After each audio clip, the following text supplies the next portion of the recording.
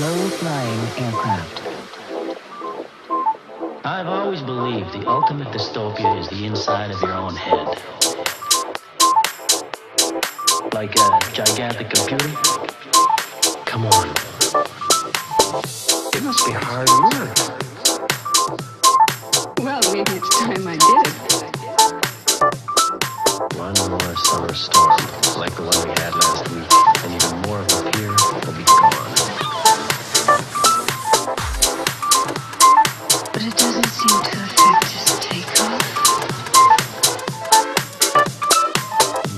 Venus Hotel.